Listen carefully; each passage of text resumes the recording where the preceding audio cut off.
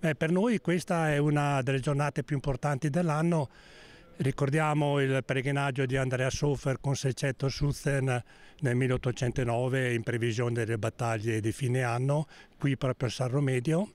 E beh, per noi Offer è anche una persona che identifica anche l'autonomia e l'appartenenza del territorio, cioè lui ha combattuto per difendere la libertà di un popolo di vivere secondo le proprie tradizioni e secondo la propria storia, il proprio credo.